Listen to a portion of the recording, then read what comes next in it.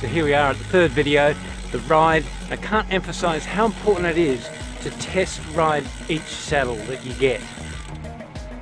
Beautiful morning for a test ride.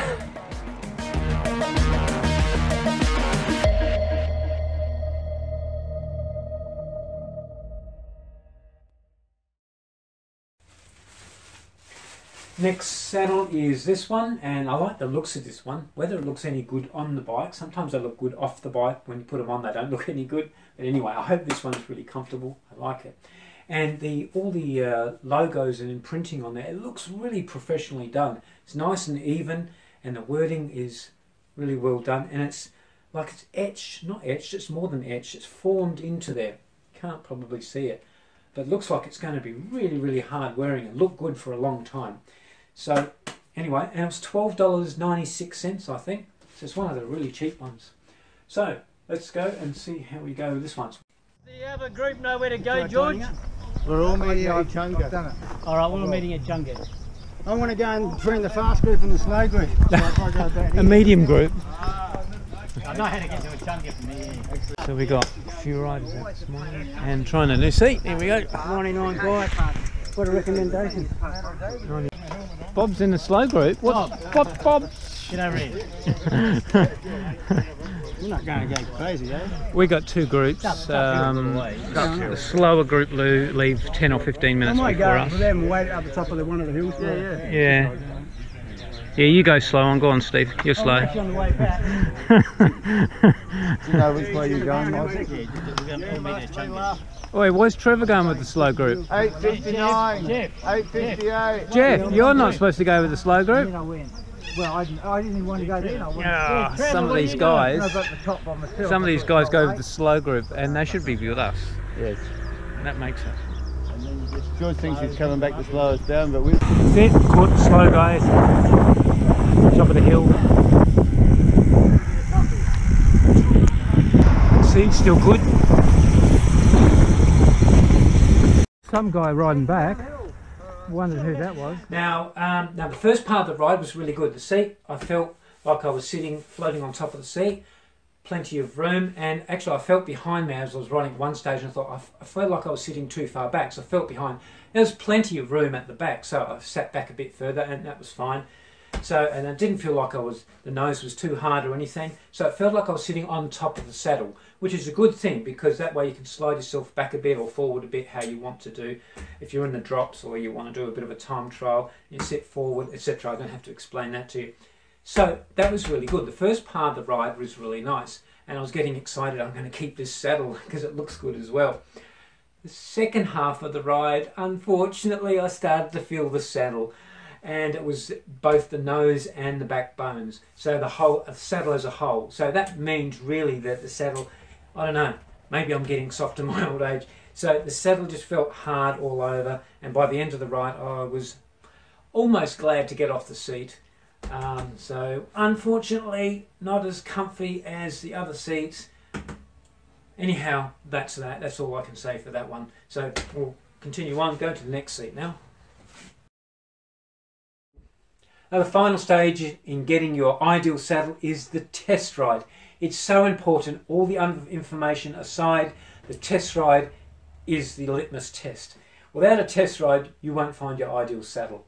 So, when you get a saddle, either it's online, some bike shops will loan you saddles, some manufacturers have loan systems where you put a deposit down and they'll give you one or two or three saddles even to loan out. That's really good. Online, I'm not sure if they do it so much, but if your local bike shop supports that, then do it that way. It's better to lose $10 in a deposit than to go out and buy a $100 seat or whatever and lose that sort of money when the seat's uncomfortable. So the loan system is a good idea. So take advantage of that if that's in your area. Next thing is when someone comes up to you and says, Oh, I got this seat and it's really, really good for me. I can ride hundreds of kilometres and I recommend it to Freddie and Freddie likes it as well. And I think you should have one of these seats. Well, be wary, very wary because they might be well meaning and sincere, but it doesn't necessarily mean, in fact, it's a very slim chance that that seat they're recommending is going to fit you. If it does fit the criteria, for instance, the width and the shape and all that sort of thing that we've already gone through, then maybe it's worth testing it. But if it doesn't fit any of that criteria, then really the saddle is probably most likely not going to fit you. So other people might be well meaning for you, uh, recommending saddles, it's all very well, but there's a slim chance that the seat is going to fit you. Next thing is what sort of conditions do you ride your bike in? Now, wet conditions is important. If you ride in the wet quite often, then test ride your saddle in wet conditions. Don't go in the dry. One number one is your chamois reacts differently. It squashes down and thins out, and you're going to feel your seat more in the wet conditions. So if you ride in the wet a lot, test that seat a lot in the wet first to make sure it's right. Uh, next thing is take this little thing with you, the Allen key, to adjust your seat. So you can do tweaks on the way. Also down here as well if you need to adjust your height a little bit. So mainly it'll be your fore and aft and your, and your tilt, the tilt mainly. So take your little Allen key with you in your back pocket if you don't already take a little Allen key kit with you or something like that or someone else has one. So what you do is you go for a ride and then you stop, you tweak, make a little tweak and then you ride again, tweak a little bit, ride again, tweak a little bit and you keep going. now if you're going with a bunch, your mates might sort of think, oh we're stopping all the time. Well try not to stop them for that. There'll be appropriate times when you can stop and tweak but you may have you may have to go out by yourself and do that sort of thing as well if you're going to stop quite often. Uh, top of a hill, waiting for a few others. Good time to adjust your seat while you've got a, a minute or two. Now, when you do the tweaking, don't go moving your saddle great know, degrees or anything. You only really need to move it one or two degrees up and down. I would I'd recommend just one degree movement, very slight movements, either down or up for your tilt and your fore and aft pretty much the same. Go by millimeters, maybe two millimeter increments on your fore and aft as well, and your height pretty much the same. Go in two millimeter increments. So it shouldn't need great adjustments, just a little bit. So take your Allen key with you. Don't miss out on a great saddle just because you didn't tweak. So ride, tweak, ride, tweak, ride, tweak, and you'll find if that saddle's right for you, you'll find the sweet spot. Next is to take that test saddle out for the distances that you normally do. Now most saddles are going to feel pretty good at 20 kilometres. At 30 kilometres they're going to be mm, okay. At 40 kilometres you might start feeling the saddle, especially if they're not suitable for you. Now if you're normally doing 80 kilometre rides then you must take your test saddle out for 80 kilometre or 90 kilometre rides to make sure it's any good. If you're doing 100, 120 kilometre rides, then do that distance on your test saddle. Now, as the distance increases that you do, then the more critical the selection for your saddle. So do the distance that you normally do on your saddle for your test saddle as well, and multiple times, you know, two or three times to make sure if you've pretty much got the saddle, if you're happy with it. Next is to move around a fair bit on your saddle. Don't just stay in one position. Move around and test it out all over. So try it on your drops, on your hoods, and on the top here, different pelvic tilts. Make sure it's all comfortable in the positions that you normally ride.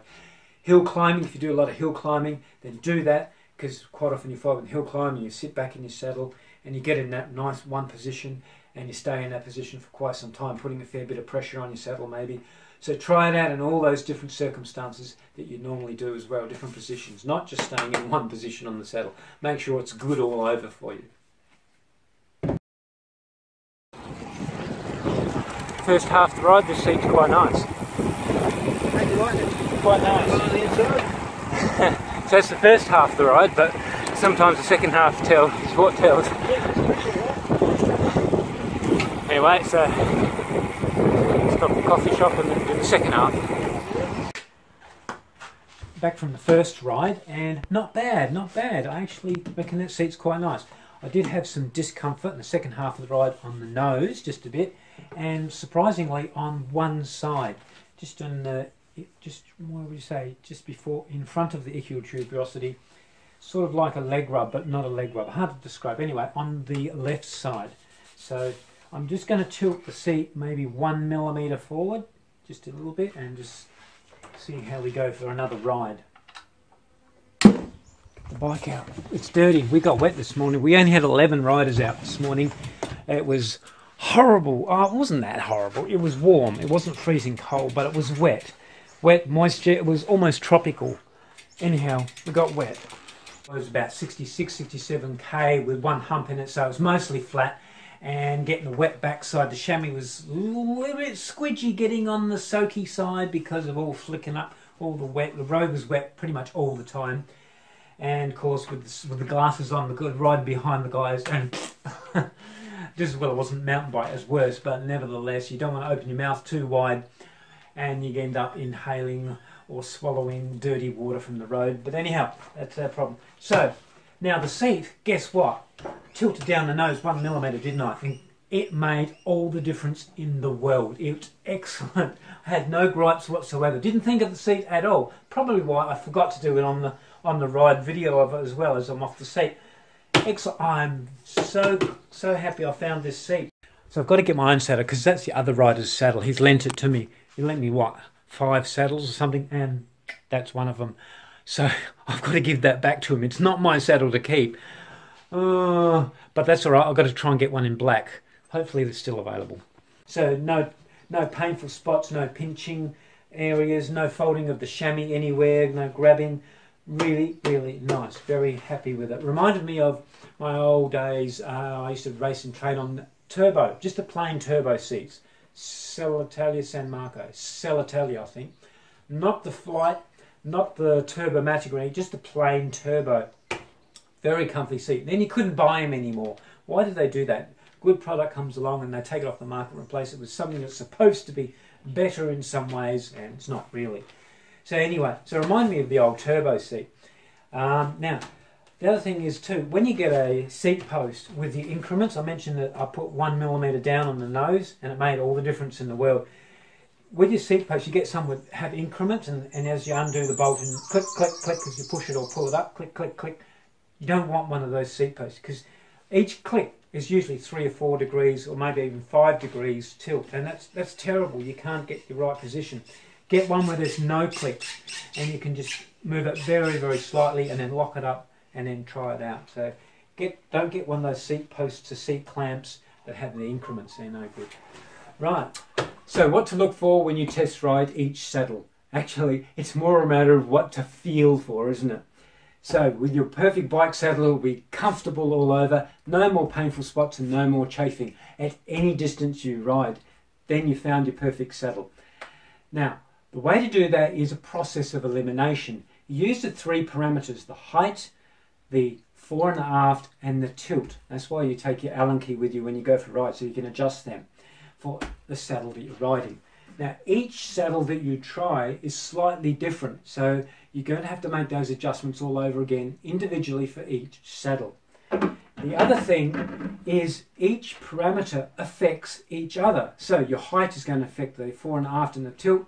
The fore and aft is going to affect the tilt and the height, etc. They're all going to be slightly interfering with each other. Now the least affected is the height. Most saddles are approximately the same height. So what you can do is keep your saddle at the same height. Don't worry about that at the moment. Just work on the fore and aft and the tilt as you ride. So that narrows it down for you. Now, when you go for your ride, if you find an uncomfortable spot, make the adjustment while keeping the saddle clamp approximately in the middle of the rails. So you just need to make tilt adjustments and keep that clamp in the middle of the rails. You can go slightly forward or slightly back, but not too far forward or too far back, as we discussed previously. So try and keep that in the middle of the rails and make the tilts from there. So you're on your test ride, and let's just say you start feeling the nose area after about 20 kilometres. So stop, get your Allen key, undo your seat pillar, not too much because you don't want your seat to be moving too much, just enough so you can tap the seat and move it. So the nose needs to go down if you can feel the nose. So just tap it ever so much, a little bit down, one degree is plenty. Tighten it up again, put your Allen key in your back pocket and off you ride. If that's fine and you don't feel the nose again, then you're right. If you start to feel the nose again, do the same thing. Stop, Allen key, push it down just a fraction, tighten it up and off you go again. By the second attempt, usually that would have eliminated any pain on the nose. So the same thing for the back. If you start feeling uncomfortable on your sit bones, stop, use your Allen key, undo your seat post, just tilt one degree back, just that ever so much, tighten it up and off you ride again. If it happens again, you start to feel the sit bones, but the nose is okay. Again, undo it, tilt it fraction back, and then off you go. So you get the idea. It's whichever you feel pain in, tilt that away from that area, ever so fractional. If you can't get a happy medium between the nose uncomfortable and the back uncomfortable, usually under 50 kilometers, then chances are the padding's wrong, the flat and the round section of your seat's wrong, or the profile from back to front is wrong. So it's time to move on to the next saddle. If you feel uncomfortable in the midsection of the seat, then it may be that the profile from back to front, your seat is too flat. You need to go for more of a shapely seat, S shape or the wave shaped seat, and that will distribute the pressure more from the back to the front away from your mid area. If you start feeling the middle of the seat right in the middle, as in right at where the very peak of the seat is as it comes up, then you might want to try one with a channel or a cutout like this seat. And if you've got that and it still doesn't help, try the profile from more round to a flatter profile. Try and go for a flatter seat. That way you get more surface contact that way away from your midsection. Now, if you've got chafing, it's another issue. Chafing on your inner thighs, you find it grabs on this part of the seat here, that's your transition zone. Then you need to go for a sharper transition rather than a gentle transition. Now, if you do want to adjust your fore and aft of your seat for some reason, for instance, if you want to come forward, you push your seat forward, then that's going to make you more upright. Your pelvis will tilt back and you'll put more pressure on your sit bone area. So you need to adjust this. So the tilt, you tilt it back so there's less pressure on your sit bones and a bit more all over the frontal area. And vice versa, if you push your seat back, then you're going to be tilted that way, more pressure on the nose, so tilt the nose down a little bit. So of course, there you go, the fore and aft affects your tilt. So you need to accommodate each one as they go, if you're going to do that fore and aft adjustment. Now with your perineal relief channels or cutouts, some are bigger than others. Remember that that cutout is no support whatsoever. So if you're normally used to having some support there, it's gone. It's going to distribute the rest of your weight or pressure onto that rest of the contact area that's left. So a bigger relief channel or cutout may not be as comfortable as a smaller one or no cutout or channel. So just bear that in mind. A bigger one is not necessarily more comfortable. Now remember, one seat's not going to do all your styles of riding. So if you're doing so triathlon and you've got a mountain bike and a road bike as well, don't expect the same style of seat to fit all those needs because you're going to need different styles of seat. So for mountain biking, you might want a more wider and a general seat and a bit more padding. For time trialing and all that sort of thing, you might some, want something with a perineal relief channel in the front. And for your general road riding, you might want something like that, flatter where you can move around a bit and get different positions. So different seats for different occasions. Now one misconception I still hear these days, rarely, but still hear it sometimes, is keep riding that uncomfortable seat because you'll break it in and it'll be alright. Well, that's a very old full leather seat or like the full leather brooks they have these days. Yep, you can ride them till, they, till you break it in and they fit beautifully. Other than that, all other seats, the plastic or carbon shells, you don't break them in. If it's uncomfortable and you can't get it right, it needs to be replaced. Move on to another saddle. So this saddle, $19.75, very well made, very solid construction, very happy with that. It's 286 grams in weight and the width 150 millimeters. And it looks so much like the Specialized Power Expert seat, I would say it's supposed to be a copy.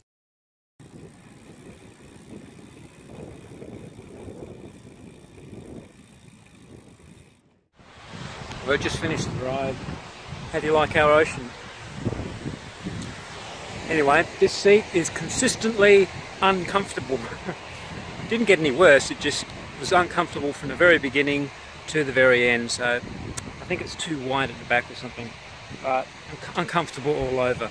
Just felt like I was riding on no padding.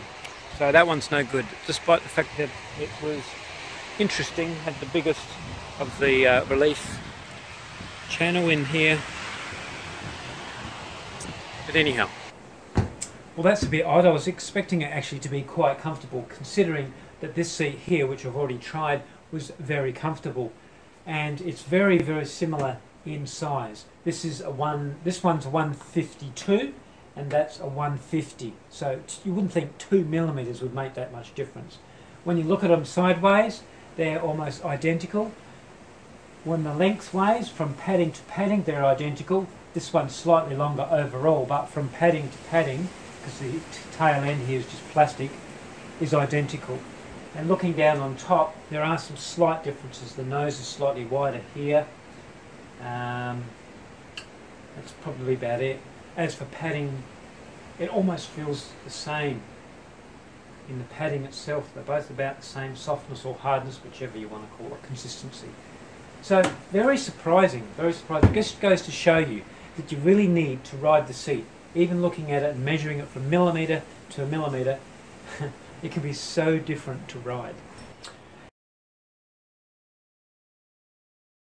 Whoosh, off with the nice seat and on with the cheap $7 seat. $7.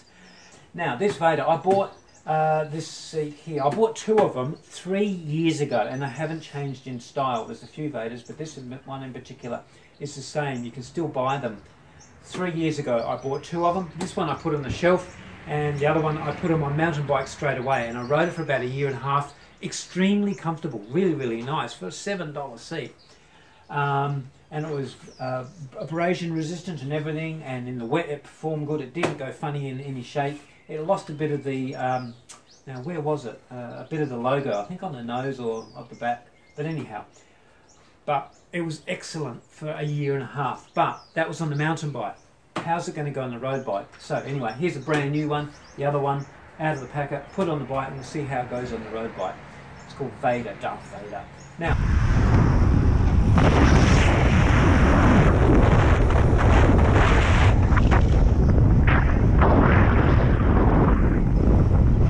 got in with the fast guys.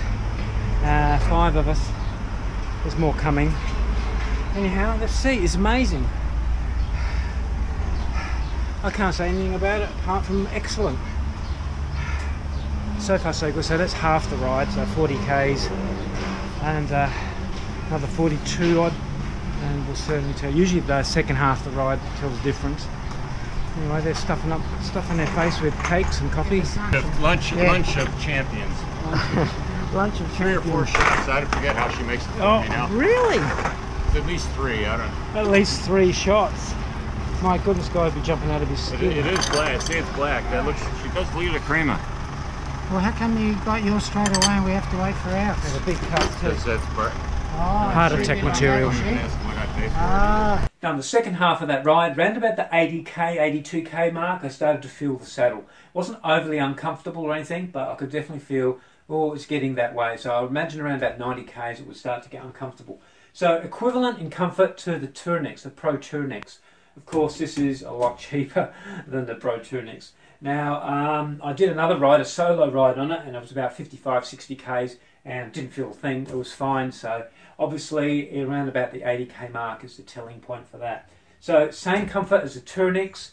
Um, $11. It's a tenth of the price of the Pro Turnix, so you can buy 10 of these for the price of the, the other one. Uh, which I'd probably prefer to do because if you scratch the side of it or something, or you fall off, as you usually do at cafes, you lean it on a building or something, or even if you have a fall, you can just put another saddle on, a brand new saddle. Of course, the disadvantage is it's probably 100, 120 grams heavier than the Pro Turnix as well. Anyhow, but brilliant, brilliant comfort for the price, $11. Can't go wrong.